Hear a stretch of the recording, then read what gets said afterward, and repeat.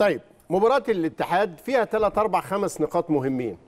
نقطة مهمة جدا الشق الفني اللي حضراتكم شفتوا التشريح الفني ليه من خلال عرض كل آراء السادة الكباتن والخبراء. في جزء خاص بأحداث ما بعد المباراة. لأنه بمجرد ما الأهلي جاب الهدف الثاني زطت الزيطة واختلط الحابل بالنابل وقالوا في مشاكل. هنا لما يطلع اتهام واضح وصريح وتحديد الاتهام في اتجاه معين يبقى يحتاج معلومات. لأنه لو صح اللي قاله الكابتن مدحت شلبي لو استوجب العقاب نشوف رأي الكابتن مدحت شلبي وضيوفه فيما حدث في أرضية الملعب بعد نهاية المباراة. ما ينفعش الكابتن سيد عبد الحفيظ يسيب دكته بتكلم بصراحة يعني. ويروح في مقابلة دكة الاتحاد السكندري ويشوح ويتكلم ويتنطط sorry أنا آسف. اللي عمل ده حسام عاشور حسام. فقام له مجدي علام اللي هو المساعد المدرب. وله الحق إنه يقوم له له يعني مش هيبقى موت وخراب ديار. دخل فيا جون وفي وقت قاتل وبتاع. يعني احفظ لي بقى يعني كرامتي. هقول إيه أكتر من كده؟ تروح تستفزه قدام الدكة بهذا الشكل. وبعدين يقوم سيد عبد الحفيظ يروح عشان يعنف مجدي علام لأنه رد على حسام عاشور. يعني مش عارف أنا حابب أسمع رأيك. آه، اولا هو كل ال... كل رد الفعل ده لأن المباراة مشدودة. وكنت أنا قلت لحضرتك من ثلاث أيام تقريبا كل مباريات الأهلي والزمالك القادمة ممنوع التعادل مش خسارة. فحضرتك هتلعب الدقيقة 90 الهدف بالنسبة للنادي الأهلي. فرحة مش طبيعية للجهاز واللعيبة والجماهير. بالنسبة لنادي الاتحاد كان كان نفسه يتعادل. هنا ردة فعل فرحة بس مهما كنت فرحان يا كابتن مدحت لازم لازم تحترم. المنافس. لازم زي ما أنا شعوري أنا فرحان قوي خد بالك إن الناحية التانية محبط الجانب جداً. الآخر متضايق وزعلان. طبعاً. هو خسر في التوقيت ده. آه. فهي دي يعني أكيد هو هيحصل صلح وكده وحاجة حلوة حصل- اللي قال حصل ودخلوا الأوضة وأكيد حسام هيروح ل- أكيد بص بص بص الدكة بص آه، الدكة. هي هي هي دي اللقطة. آه افرح يعني- زي ما انت عايز بس مالكش دعوة بالدكة الثانية يعني افرح زي ما تحب لكن يعني راعي ان على الجانب الآخر في ناس أكيد في عندها إحباط جامد جدا. بالظبط. ماشي. هنقول أهلي كل ده من حق كل ده من حلو حقك. جدا. آه لكن كل ده من حقك. ما هو يعني الجمهور النهارده في منتهى الشياكة. الجمهورين هنا على. فكرة.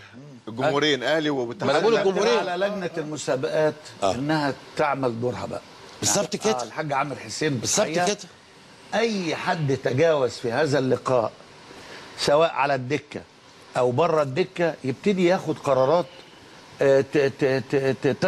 يعني يبقى فيها رادع ما بتكتبش يا كابتن بس سيبك من الكتابة. لا سيبك من المراقب الكتابة يكتب. آه، سيبك. من الكتابة أو الشريط الرسمي للتلفزيون في مباريات اولا الحاج عامر. نفسه بيبقى موجود في المباريات دي في اسكندرية آه بيبقى شايف وهو رئيس لجنة المسابقات مش محتاج إن الحكم يكتب حصل قبل كده إحنا من سألناه قبل كده يا كابتن. قال مش لو ما. جاليش التقرير لا لا لا ده. كلام ده كلام ده كلام يبقى بص إحنا الجمهور وجماله الجمهور كان جميل إحنا إحنا كده. بنوصل إحنا كده بنوصل نفسنا إلى ان إن نلبس في الحيط كلنا. طبعا. طيب إزاي ممكن نلبس في الحيط كلنا؟ وإزاي نتفادى الحيط؟ مش كده؟ وإزاي الحاج عامر حسين يوقع عقوبات على المخطئ؟ وجهاز الأهلي سواء الأول الكابتن سيد عبد الحفيظ وبعد كده الكابتن حسام عاشور. غلطوا وراحوا وكده موت وخراب ديار. وده عدم احترام للمنافس. وانت رايح تكيد وتغيظ دكة الاتحاد وإن المباراة مشدودة وإنه آن الأوان بقى الضرب بيد من حديد وإنه على لجنة المسابقات تعاقب جهاز الأهلي واللي غلط يتعاقب ومفيش حد فوق العقاب. الكلام ده بنسمعه لما يصدر أي حاجة من النادي الأهلي أو من جهاز الأهلي. ما بنسمعهوش على أي طرف تاني خالص. مهما بلغت الإساءات والتطاولات والإساءات ما حدش بيتكلم. لكن ما علينا. الأهلي بيحافظ على سلوك لازم يتحاسب عليه. إذا كان الأهلي غلط لعيبته جهازه غلطوا يعاقب ويحاسب. لكن لما يبقى ما غلطش وما صدرش منه أي حاجة اللقطة لو هتشوفوها حضراتكم اولا ما حدش راح لدكة الاتحاد. اللعيبة نازلة على نص الملعب أو الجهاز قام لناحية نص الملعب. مع هذا الاحتفال. ثانيا أنا سمعت الكابتن سيد عبد الحفيظ بنفسي بعد المباراة قال خلاص حصل خير بمجرد ما جالنا الكابتن حلمي طولان وحتى سيد قال قال ده كابتني ومدربي وهو اللي رباني.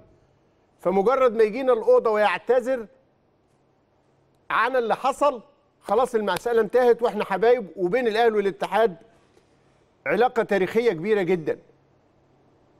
طب ما يمكن سيد عبد الحفيظ بيقول ده لأنه آه، كابتن حلمي طولان مدربه وإنه في النهاية محدش شاف حاجة. طب ما نسمع الطرف المنافس. قبل ما نسمع بس يا أستاذ إبراهيم ما هو أنا ليا آه. ملاحظة يعني. دلوقتي الكابتن مجدي عبد الغني مش محلل بس. أيوه ده عضو مجلس إدارة مهم. من الأعضاء المهمين المؤثرين. صاحب رأي وصاحب تأثير. لما على الهوا ي- يطلب من رئيس لجنة المسابقات إصدار عقوبات ده توجيه. أيوه. ويقول له ما أنت في. ده بيفكروا إنه من اسكندرية بقى وبيقول له في الملعب وشايف. آه، يعني يعني لا يمكن هذا الخلط. لا يمكن هذا الخلط. لأن وبعدين ده إحنا اصدرنا حكمنا بناء على إيه؟ وإحنا قاعدين بنتفرج. أيوه. يعني هل متخيل انت حصل حاجة في الماتش تستوجب ان ال- الاهلي يبقى محقون من الاتحاد وجهازه الفني فيروح يغيظه؟ ما حصلش اي مشادات ما حصلش اي مشاكل بين الاجهزة. ما في يعني ما فيش سبب ان واحد زي حسام عاشور مع احترامنا. بالألقاب يروح يغيظ حد هناك. الناس اندفعت ناحية اللي جاب الجول ولا بيفكروا هم فين ولا بيعملوا إيه. لا يمكن يكونوا راحوا يغيظوا حد. مستحيل. مستحيل. مفيش سبب. لكن عارفين الحقيقة إيه؟ حسام عاشور رايح يحتفل وهو راجع. مجدي علام أحد أعضاء الجهاز الفني أو الاداري في الاتحاد شنكله. وقعه. فاستوجب الأمر إن مدير الكورة في نادي الاتحاد يعتذر للأهلي يعني ويعتذر جسدي مش لفظي كمان. عن هذا التصرف غير اللائق. شوفوا الخطأ اللي حدث إيه؟ طب ممكن نقف هنا؟ مشت الكلام في السكة إيه؟ نقف هنا بس لحظة أستاذ إبراهيم. آه. تم عرقله الكابتن حسام عاشور وهو راجع. اتعرقل تحت دكة الاتحاد؟ لا وهو في وهو راجع طبعا. في مساره؟ آه. يبقى مين اللي راح لمين؟ ومش محتاجين ان إحنا نثبتها. هم هم اعتذروا عن هذا السلوك. هم رايحين كابتن وليد صلاح الدين مدير الكرة والكابتن حلمي طولان. رايحين لأوضة النادي الأهلي. يلا عايزين توقعوا عقوبات على النادي الأهلي. يلي بتستنفروا وتستفزوا الحاج عامر حسين والمراقبين. يلا أصدرتوا الاتهام بشكل مباشر. كابتن حلمي طولان مش هيجامل الأهلي. راح يعتذر بنفسه الراجل بكل شياكة ووقار واحترام. مشوار قاطع مشوار مش قابلهم بالصدفة. رايح لهم الأوضة على اللي حصل. وبيستأذن بالأمن. أنا رايح يعني طيب نسمع رأي الكابتن وليد صلاح الدين مدير الكرة في الاتحاد عن رأيه. حقيقة ما حصل. بيحكي الواقعة. هي المشكلة بس إن لما النادي الأهلي أحرز هدفه فالنادي الأهلي كله جه على ناحية الدكة عندنا فدي اللي حصلت آه، فيها شدة وحصل فيها يعني تنشنة زيادة عن اللزوم واحتكاك لأن الناس معدية. بس إحنا دلوقتي دخلنا الكابتن حلمي طولان وانا واعتذرنا لمستر لاسارتي واعتذرنا للكابتن سيد عبد الحفيظ والكابتن محمد يوسف وهدينا الدنيا وسلمنا على الناس وهم ضيوفنا وده وارد في الكورة. حتى مستر لاسارتي قال ما فيش مشكلة يعني ده في الكورة وارد. هو بس كل الموضوع إن علشان الفرحة طبعا آه، كبيرة عند النادي الأهلي. فلما لما النادي الأهلي نقل الناحية الثانية كلها فالجري ده حصل احتكاك. وطبعا يعني حصل حصل خطأ من عندنا إحنا في الدكة. آه، لا حصل احتكاك يعني بالناس طبعا كلها بقت في في مكان واحد.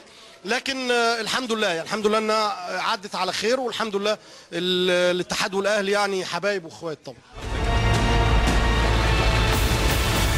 الاتحاد والأهلي يا حبايب ده مؤكد. طبعا.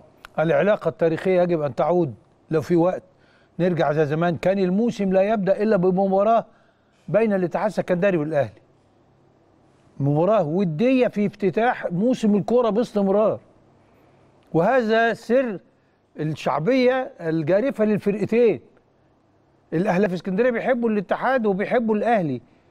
والاتحادوية اللي في اسكندرية بيحبوا الاتحاد والأهلي. وكذلك اللي في مصر. كان الود يجمع الفريقين وما زال. والحقيقة ان ان الكابتن الخطيب في كل فترة انتقال بيوصيني على الأستاذ محمد مصلحي يقول لي شوف طلباته إيه الأول. الراجل آه يعني آه، إذا احتاج حاجة لو سمحت عدلي آه، بلغني على طول. ولذلك هو اللي سبق واختار. يعني ف آه، آه، ال- ال- الاتحاد السكندري له مكانة. وكل الأندية الشعبية نتعامل معها بهذا المعيار. لأن إحنا مقدرين الضغوط اللي على مجالس ادارات هذه الأندية. صحيح.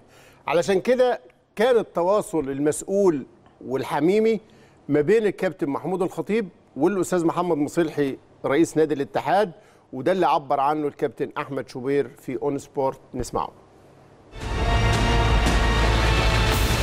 تحية آه، آه، لمجلس إدارة الناديين. نادي الاتحاد السكندري ونادي الأهلي. الاتحاد السكندري الحقيقة قال أنا هلعب بجمهوري وما عنديش أدنى مشكلة عايزين تنقلوا الماتش تنقلوا أي حتة في اسكندرية لكن ألعب بجمهوري وهذا حقه تماما يعني. والنادي الأهلي الحقيقة إنه ما عادش يصرخ ويصوت ويهلل و... لا بالعكس عادي جدا طالما هو ده والأمن كده والقرار كده ومن حق الاتحاد يلعب بجمهوره وجمهور الأهلي كمان لا يحرم من المباراة. فما ما حصلش مشكلة ما سمعناش صوت آه، كل التحيه والاحترام والتقدير للأستاذ محمد مصلحي رئيس نادي الاتحاد. كابتن محمود الخطيب رئيس النادي الأهلي. وهي دي الروح الطيبة اللي يجب أن تسود. ودلوقتي الزملاء في الإعداد الأستاذ عبد المنعم الأسطى والأستاذ محمد مصطفى بيبلغوني إنه الكابتن مدحت شلبي على آه، نايل سبورت ظهر دلوقتي واعتذر للأهلي وجماهيره عن ما صدر منه من تقدير موقف في مباراة الاتحاد. واضح جدا إنه كانت المعلومة غلط وكان تفسير الأحداث اللي حاصلة في الملعب غلط ومن ثم تم بناء كل ما قيل عنده على هذه المعلومات. الناس مش واخدة بالها إنه الأهلي لما جاب الجول في المرمى الشمال الدكة بتاعت الأهلي شمالها الاتحاد.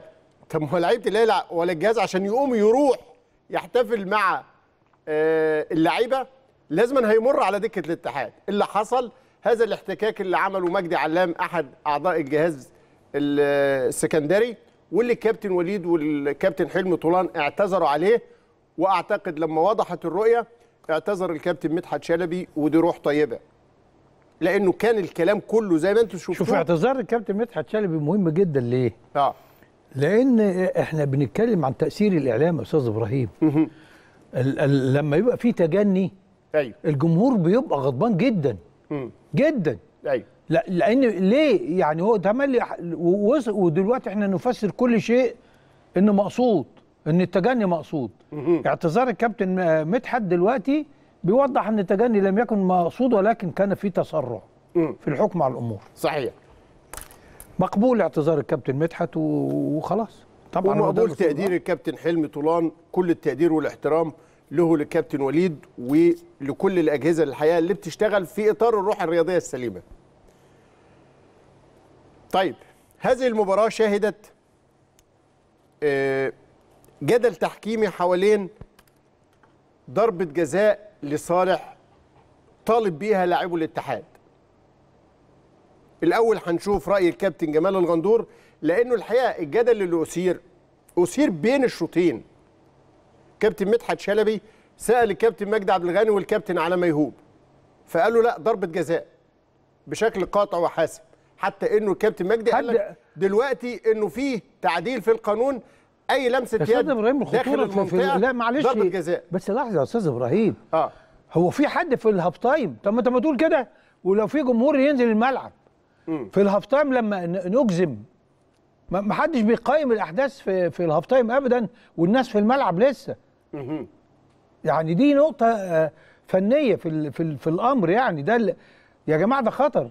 خطر هذا الكلام. في ال half time لا. بعد الماتش ممكن تقول رأيك وانت حر يعني أنت حر في رايك لكن إحنا كمان نتصدى بال بالواقع زي ما إحنا عايزين. لكن في ال half time يا ريت بلاش ال half time. عشان ما نصدرش رأي معين للجماهير اللي في. الملعب. صحيح. طيب. اتقال أصل دلوقتي تعديل القانون أي لمسة يد في المنطقة ضربة جزاء بغض النظر أنت متعمد مش متعمد عملت ما عملتش كنت عايز إيه مش عايز إيه هي التعديلات كده فكان لازم أن يتحسب ضربة جزاء للاتحاد. على اعتبار ده كان الرأي القاطع. على اعتبار ان. جهاد جريشه اللي راح كأس العالم ما يعرفش التعديل؟ ما يعرفش آه. كابتن جمال الغندور رأيه بعد المباراة في نفس القناة النيل للرياضه طيب نشوف هنا. بس أنا أنا أنا عايز أدور على كل اللقطات هعرضها الأول عشان أدور على اللقطة اللي ممكن تفيدنا. آه جت في إيده. لكن نشوف هنا اللقطة دي جاي اللاعب وإيده ورا ظهره من البداية. اللقطة الثانية نحاول نشوف اللقطة دي. نشوف دي. بس. بس. ارجع شوية ارجع شوية ارجع شوية ارجع شوية ارجع شوية. بص يا كابتن مدحت من البداية هنا اللاعب بيحط إيده ورا ظهره. آه. من البداية؟ آه. بيحطها ورا ظهره. نعم. تمام؟ نكمل. وبعدين عايز عشان دي خلاص عادة موجودة في لعيبة الكورة في المدافعين. إن أنا يعني عايز أقول للحكم أنا مش ه... يعني أنا بحاول أهو آه. إن الكورة ما تجيش في إيدي. حط إيده ورا ظهره وبعدين نزل فراحت الكورة في المكان اللي فيه إيده. ما زقش إيده سنة يا كابتن ما هو ده اللي أنا عايز؟ أكتشفه. ليه بقى؟ آه. لو الإيد من بره لجوه يعني معناها إيه يا كابتن مدحت؟ من بره لجوه بالمصطلح بالنسبة لنا. معناها إن أنا بقول لك أهو أنا بدخل إيدي في حيز جسمي. أوكي. يعني أنا مش عايز الكرة تصطدم. امم أهي. أدي الصورة. أهي. لما نزل اللاعب هنا هل اللاعب هنا استفاد؟ مش استفاد بقى من من من من, من, من زي. التسلل لأ. استفاد من هذا الوضع بأنه تم تكبير جسمه. أنا ما أعتقدش إنه لو عايز اللاعب ي ي ي ي ي يعني ياخد الريسك مش هيحط إيده ورا ظهره. هو كرة صعبة جدا حالة صعبة جدا كرة صعبة جدا بصراحة. جدلية جدا آه. لأن في ناس ولكن تقول لك هو مط كوعه سنة عشان لو يحجز الكورة. خرجت لو خرجت إيده آه حتى لو هي ممسوكة لو خرجت معناها إنها اتجهت للكورة آه طب هل يا كابتن مدحت تقدر أنت تعمل أو حد فينا يقدر يعمل ده إنه إنه إنه هي إيده ممسوكة بالإيد التانية يخرجها أو يوجهها أو هو عنده هل عنده الفرصة الكاملة من المسافة دي؟ ها؟ أهي بص المسافة دي والسرعة دي اللي هي بتبقى نص متر. هو هل عنده الفرصة الكاملة إن هو آه، يتعمد إنه يخرج إيده أو يوجه إيده في سكة الكورة؟ صراحة قرارك إيه يا كابتن موضوع جمال؟ صعب جدا. قرارك إيه لو أنت الحكم؟ في الموضوعات الصعبة اللي كده كابتن مدحت الجدلية أنا بمشي مع قرار الحكم. ما ق- أنا عايز بقى تعدلنا يا جماعة اللقطة هنشوف الحكم الخامس داخل جوه أرض الملعب. عشان يشوف. عشان يشوف ودي لقطة برضو أنا حابب أسألك فيها. هل م... هل مباح للحكم الخامس؟ يدخل في أي حتة هو دخل بص بص يدخل فين؟ في أي حتة عشان يشوف. حتى آه يعني بس هل ممكن الكرة تضرب فيه وترجع ولا أي إحنا حاجة؟ إحنا بنتكلم بقى عن بص واقف فين إيه يا كابتن؟ بص فين؟ ما أنا عارف. إحنا بنتكلم عن إيه؟ هو داخل معانا، هو طبعا معانا. هو طبعا هو طبعا البروتوكول بتاع استخدام الحكم الإضافي ما فيهوش إنه يخش الملعب. آه. إلا في حالات إيقاف اللعب آه معلش ده موضوع تاني. إنما هو بيحاول وهو بيحاول لو قدر هو يجيب قرار حتى لو لو استخدم الوسيلة غلط إنه يدخل الملعب عشان يجيب قرار صعب عن الحكم وبعيد عن الحكم يبقى أهلا وسهلا لكن هو البروتوكول بيقول ان هو عنده. مساحة طيب. معينة خارج يعني, الملعب يعني قرار حضرتك تمشي أنا مع قرار همشي مع الحكم قرار الحكم ليست لصع- ضربة جزاء. لصعوبة الحال. يلا ناخد آخر الحال. حاجة كابتن جمال الغندور في في نفس الفيديو بعد كده كابتن مدحت سأله قال له لا على فكرة أنا عايز أقول لك على حاجة ده كلام الكابتن جمال. مفيش حاجة اسمها التعديلات قالت إنه أي touch ball في المنطقة ضربة جزاء. التعديلات ما قالتش كده خالص. ده كان الرأي القاطع للكابتن جمال. وده بي بي بي بيرد بيه كلام في نفس القناة في ما بين الشوطين للكابتن مجدي عبد الغني. وهنا في الحقيقة أنا عايز بس أوحد المسطرة. كتير لما الناس تيجي تتكلم لو سئلت ضربة الجزاء رأيك فيها إيه؟ أو قرار للحكم يقول لك لا هنسيبه للخبير التحكيمي. مش بتسمعوا كده؟ لا مش هنتكلم على الحكم في فقرة للخبير التحكيمي رأيه هيكون أوضح. فأنت ما بتثبتش مسطرة. في الوقت اللي أنت عايز تقول بتقول. ويرجع الخبير التحكيمي في نفس القناة يكون رأيه بهذا الشكل. إنه ياسر إبراهيم حاطط إيديه ورا ظهره. إيده اليمين ماسكة إيده الشمال. مثبت إيديه ورا ظهره وهو رايح للعبة. يعني في نيته إنه يبعد أي محاولة إن الكرة تيجي فيه. وكويس قوي إن الكابتن جمال الغندور وقف باللقطة عند اللحظة يا باشمهندس اللي قبل ما عمار يلمس الكورة. إبراهيم من الناحية الحركية دي صعبة جدا إنك تمسك وتفرمل وما تسيبش إيديك وتسند. وتقع كمان. وتسند. آه. دليل إن هو مش في نيته خالص إنه يتورط. التحايل آه. طب ده غيره نزل وكنس كده يا أستاذ إبراهيم وما اتحسبتش.